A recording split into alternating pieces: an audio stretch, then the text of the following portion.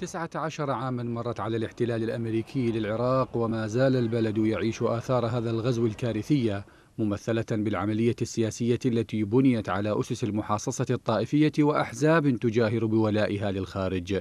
موقع أورينت الفرنسي وفي أحدث تقرير له قال إن الانقسام الذي تعيشه العملية السياسية في العراق زاد من حدته الوجود الأمريكي والتدخل الإيراني لكن التحالفات الجديدة التي ظهرت بعد الانتخابات الأخيرة تبرز تغير المعادلات السياسية خاصة مع دخول فاعلين إقليميين على الخط. ويقول التقرير الذي حمل عنوان العراق من الطائفية إلى المحاور الإقليمية أن إعلان مقتدى الصدر بأنه يفضل الانسداد السياسي على حكومة تجمعه بقوى الإطار التنسيقي يمثل فصلا جديدا من فصول الانقسام وفشلا آخر في محاولات تشكيل الحكومة. وبين الموقع أن صراع المحاور يظهر أيضا في الخلافات الكردية الكردية على مرشح رئاسة الجمهورية حيث ترفض إيران أن يذهب المنصب لصالح الحزب الديمقراطي الكردستاني لذا تستمر هي وحلفاؤها بدعم الرئيس الحالي برهم صالح المنتمي للاتحاد الوطني الكردستاني.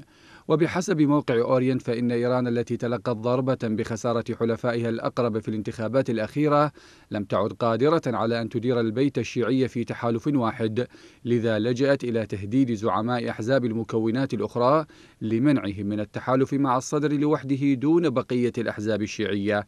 ما يعني أن طهران تواجه اليوم خطر فقدان بعض الأحزاب الموالية لها واقترابها من واشنطن ودول أخرى في المنطقة.